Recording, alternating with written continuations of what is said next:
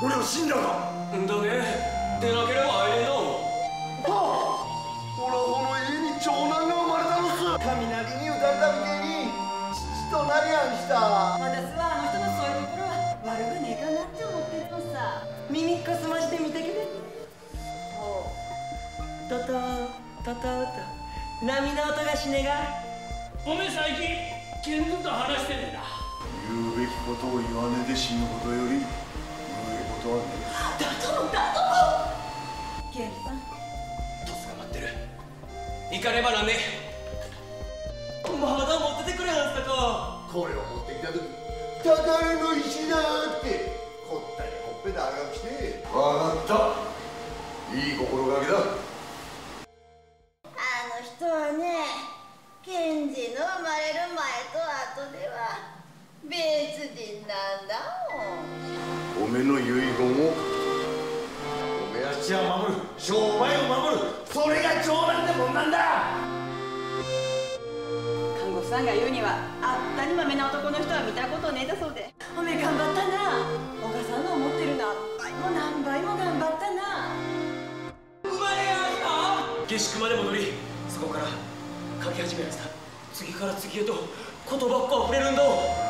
せめてお父さんを見とることだったね。だがもうあの人たちの顔がこったに短い間にあったに変わるとは。お兄さんの体の中でたくさんのお話が。5時になるのを待っておりやんした。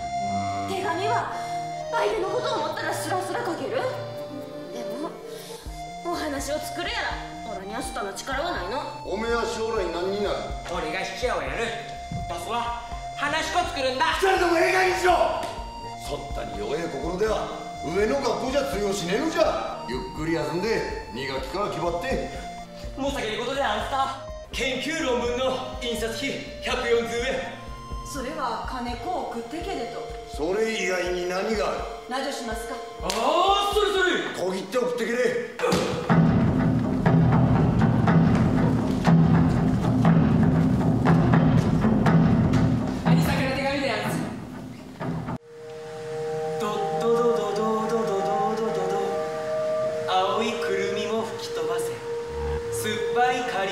吹き飛ばせ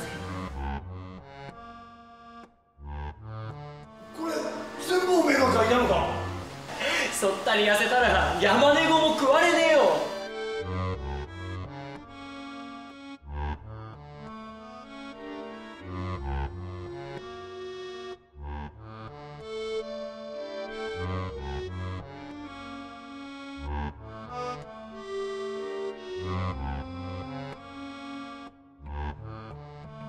よ鳥栖の葬式の日健さんは姿を消して部屋にこもって書き物をしてやんした生まれてくるだで今度は終わりやのことばかりで苦しまないように生まれてくる。あんだけ可愛がった妹が死んだ言葉で煮詰めて煮詰めて甘い甘いドロップスにしやんしたおはむらかねえのか verdadeiro.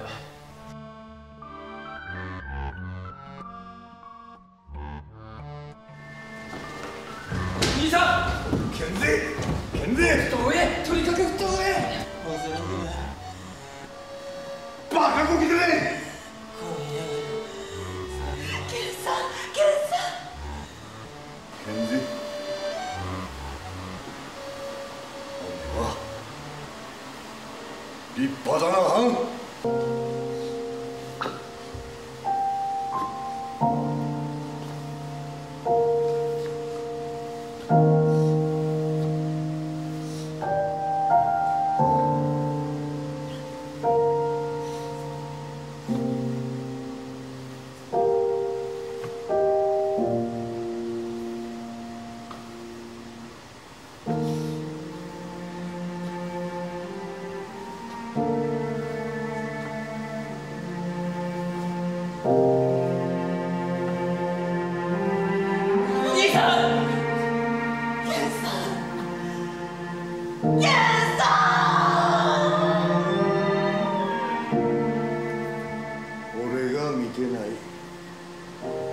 その一瞬を狙いすまし